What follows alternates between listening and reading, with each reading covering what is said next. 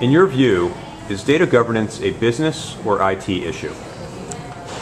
It's a, it is and should be a business issue because it's about making sure that the right information is available in the right way to the business.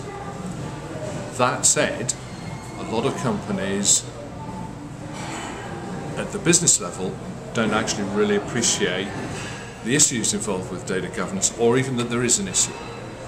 Uh, IBM did a, a, survey two or three years ago um, looking at this question and they found that actually more than 50% of governance projects were driven by IT. And what actually uh, often happens is IT recognize that this data governance would make sense, then they go to the business, to the CEO, CFO, talk to them, and then the business starts to buy into it.